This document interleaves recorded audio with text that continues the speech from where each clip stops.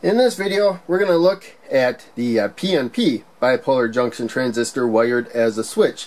And so the PNP bipolar junction is uh, practically the same as an NPN except for their chemistries are opposite. So use them the same way but with opposite currents and voltages. And so you can see with the emitter here for the NPN bipolar junction transistor on the schematic symbol, the uh, emitter arrow is not pointing in. That's one way to think of NPN, whereas the PNP transistor is pointing in. And so the emitter could be down here. It would still be pointing in towards the uh, base. So you can uh, swirl this or flip it however you want to fit a schematic. And usually though you'll see it in this form where the emitter is on top. And uh, when it comes to the PNP bipolar junction transistor, whereas the NPN bipolar junction transistor, the emitter is usually at the bottom. So, other than uh, the chemistry being opposite and schematic symbols being slightly different, they work in the same way. So, when we look at the switch circuit, the switch circuit is practically the same, except for we had the load on the more positive side and the emitter on the more negative side. And we gave an opposite signal. We gave the power supply voltage to the base, whereas now, the way we're looking at it now, we're going to stick with ground being the zero volt reference point and everything being a positive voltage above it. You could flip this around. You could put ground there and have a negative voltage right there. And uh, so that's getting a little more complicated though. So I'm going to keep this video simple. We're going to stick with the common positive uh, power supply in relationship to ground when it comes to a single supply of uh, power. So, in any case, there you have it. Pretty simple there. We're turning the LED on and off. Now I'm using a mechanical switch. Of course, we can just power the LED directly from a mechanical switch. But when it comes to the transistor, it's taking a weak signal. This is a 10,000 ohm resistor right here. We may get an electrical signal from something else that is not strong enough to power an LED. And I'm also falsely triggering it. As you can see, my body's not giving it as much current as the uh, switch would, but it's giving it a little bit. And uh, sometimes go in the opposite direction too. So in any case, the uh, we're given a weak signal to the transistor. So it's taking that signal and given an amplified amount of current based on the uh, gain. And for a switch, you want to go into saturation. So we covered that in the last video, and uh, we're going to kind of cover it again, but when it comes to the PNP transistor. So I'm going to take this apart really quick, and we will build it up step by step. So to begin with, the transistor itself we have it here. 2N3906 so I already put the pin layout right there. And it's the same. It has a 2N at the beginning. So just like the 2N3904 which is the NPN version of the 2N3906 they're made basically the same except for opposite chemistries when it comes to uh, p-type material and n-type material. So we could also just throw this into a transistor tester right there. And just hit test. We'll get the pin layout. So flat side is facing us. You can see 1, 2, and 3 right there. And uh, so you don't want to connect two different pins into the same number. And uh, so there you can see pin number 3 there is the collector.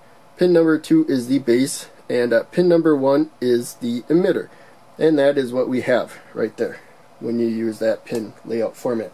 So now, the emitter of the NPN bipolar junction transistor when you're going to use it as, as a switch goes directly to the positive rail. So the top pin there, I have an orange jumper right there. We will put that directly to the positive rail right there. And uh, before we do the load, let's do the uh, switch right here. And so you can see here we got the switch and a resistor. So again, you don't need much uh, current. In fact, current's going to go this way. That's uh, more negative. Now, but uh, you need at least 0.7 volts to get current flowing. After that 0.7 volts, whatever voltage is left over, once you close the switch, will go across the resistor. And we can use very, very low current, so I'm just going to use a 10 kilo ohm resistor. And I'm going to tuck it back here, so it's a little more out of the uh, view there. so we can see what's going on a little easier. So there we have that right there. And we can zoom in a little bit more. So that's going to the base, the middle pin of the transistor. That's how you control how well the transistor conducts. So the switch is separated top to bottom, but the uh, bottom is connected to each other and the top are connected to each other. So if I close this switch, that pin will connect to that pin as well as uh, that pin. So now for the load, usually you see a resistor before an LED on schematics or whatnot. Actual order does not matter. And if you make something though that a lot of people are going to see, you'll probably still want to put the resistor before the LED. But LEDs don't jump uh, gaps near as well as resistors. So long lead the anode towards the more positive side, short lead the cathode towards the more negative side. Right there. And now since I'm only using 5 volts right now at the rail, I'm going to use a 220 ohm resistor to protect the LED. So it goes to the cathode and then to the negative rail right there. And uh, we are done. Pretty straightforward right there. As you can see here, I am using 5 volts right now. And we can look at how much current is being uh, used up by the circuit. So about nothing now, which makes sense. The LED's off. I press the button. Now it's about 13 milliamps, approximately. This is usually 1 or 2 milliamps off, but pretty pretty close. And uh, so a milliamp is one thousandths of an amp. So as you can see there, if we got 1 milliamp, it would take 10, 100, 1000 to equal 1 amp right there. Uh, basic math. So, we are using, as I said, the 2N3906 because we are lighting an LED. And so, we can get the collector 200 milliamps of current, and you may see a negative symbol before the 200 milliamps right here when you're looking at a data sheet to indicate that current is going the opposite direction of an NPN transistor basically. And uh, uh, so that's actually the collector current right there. And uh, so collector current we can handle up to about 200 milliamps. Remember though that it's the source of current coming out of it. So that kind of makes sense. But you may see negative 200 right there. Main thing to, to know is that it's 200 milliamps of current and a total device power of 625 milliwatts. So the uh, 2N2907 in the last video we looked at the 2N2222 and there really is no this is a PNP version of the NPN 2N3904 there really is no exact PNP version of the 2N2222 but uh, this is close it has about the same properties as you can see here it can also handle a collector current of 600 milliamps. Of course, it's going in the opposite direction of the 2N2222. And I also can handle the same power rating of a 2N2222 and 2N3906. And that's mostly probably because of the size and material. It's a TO92 package for uh, all four of those uh, transistors I was just talking about. And they all got the same pin layout. So now, I do have power transistors for the PNP. So I showed the NPN version in the last video. I got this from a Joe Knows electronics uh, semiconductor kit. I don't think that's going to show up too well right there. And uh, I have that linked in the store that I put in uh, my kind of a storefront. I show Amazon products I like and uh, you can click them. And uh, so I include the kit on there. But in case you can see there's a little metal back in there. Helps dissipate the heat a bit it's a slightly larger component, but also you can attach a heat sink. And if you have the right heat sink, you can expect up to 3 amps of current from a collector to a ground, and then up to 12.5 watts of the uh, total device power dissipation right there. Pin layout is different though, according to the data sheet. Again, emitter is the left pin, but then the collector and base switch spots. Collector 2, base uh, 3, right there. So, in any case, that is really about all you need to know. If you understand the PNP transistor, the uh, or the NPN transistor, which is the first one, generally everybody learns. You don't have to, but uh, that's usually the order you learn them. And so that's the order that I covered them. And you can see here that uh, I didn't change these rules when it came from the NPN. If you know the gain it's probably somewhere between 200 and 300 for this transistor. It changes with how warm it gets and uh, voltages you use and whatnot, but it's probably in the 200 to 300 range. So with a gain of 100, if you give the base 1 milliamp of current, you can expect 100 milliamps. So you want to give the base, you know, probably 100 or 2 hundredths the uh, current that you need from the rest of the load. And so as long as you go overboard, you will get what is called saturation. The transistor will conduct as well as it can. And uh, if you don't give it any current, you cut the voltage below 0.7 uh, volts. In this case, uh, it's it's kind of opposite. But uh, any case, as as long as you don't uh, give the base to emitter uh, voltage enough to get it to conduct, you'll have it cut off. It'll be off like it is now, and now it's saturated. The LED is fully lit. It is the resistor that is setting the current, not the transistor. Transistor is giving it as much as it will already limit to. So you can see the LED is not as bright with a 1 kilo ohm resistor. The uh, load is independent of what the transistor is doing. Now you'll see it is quite a bit brighter.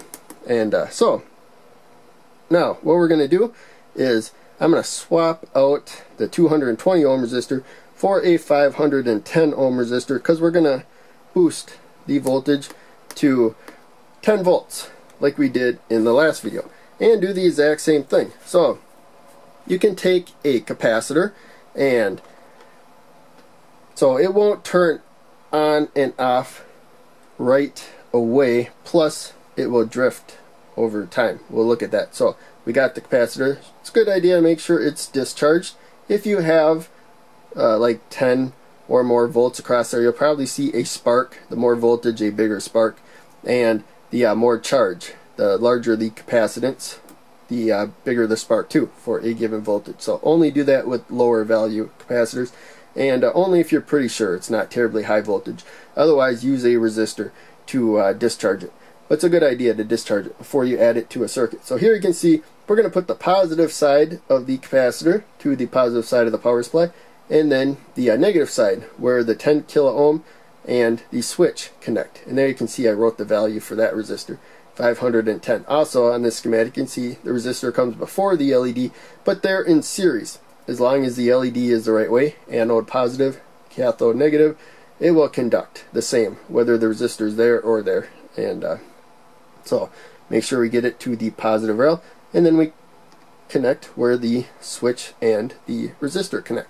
So now I hold the button, it's working exactly the same. We just turned it on, the LED turned on. The capacitor, however, instantly charged. And uh, so we got positive there and the negative there it charged now I let go now the capacitor is discharging and uh, you can see the arrow is pointing the current direction right there it is discharging. As long as current's flowing through there then it will allow current flow through there. As long as it's enough current to keep it saturated the LED will be fully on. But once the current gets low enough depending on its gain the load will have less current. But the main takeaway is it fades. So we could use a higher value uh, capacitor. It would extend the time that all of this takes. But uh, it's an interesting addition. People seem to like. I made a, a couple uh, fadeaway videos before. They seem to get more than an average view. So I figured I would add that onto here to help demonstrate this a little bit more. And so now remember the uh, base 2 emitter has a diode drop. So you can get the full voltage from collector to uh, collectors down here to emitter. You can get the full voltage applied from the power supply across the load if you have enough current going from uh, base to emitter or emitter to base, however you're looking at it at any given moment. But uh, now you're going to see that uh, the LED is practically off. I'm guessing this capacitor right now is charged to about 0.6 volts. And uh, And I don't know why we're not getting, there we go. So a little less than 0.6 volts right now. And it might drift down a little bit more. Uh, but uh, any case, there's still a little bits of current flows and stuff that kind of throws things off. But anyways, you need about uh, 0.6, 0.7 volts before the capacitor or the uh, transistor will start conducting uh, base to emitter, emitter to base, however you want to look at it. So, in any case, I'm going to wrap it up there. And so, of course, study these in more detail. The main takeaway, though, is usually you learn about NPN bipolar junction transistors. This is the PNP. The PNP just works opposite. So this is the same circuit that I showed, except for I had to flip the LED around and switch the side that the capacitor goes on. Make Remember, it's polarized. And uh, the way to make sure that side's always more positive than that side is to put it directly to the positive rail there, or to put that directly to the negative rail there. But in this circuit, we cannot put this to the negative rail. Let's make sure it is completely discharged because you're going to see that uh, the LED never turns off. And I think that's because there's some current leaking through the uh, capacitor because it's not perfect. And uh, so it's going to keep. We got a more negative voltage there. And uh, now it's fading off more than it did before. But uh, I think we're going to always have that slight glow there. That slight glow is not staying there when we had it positive. So in any case, just remember, polarities switch when you go from uh, NPN to PNP. Otherwise, they work the same. So, hope you enjoyed the video. Thanks for watching. I will see you in the next video.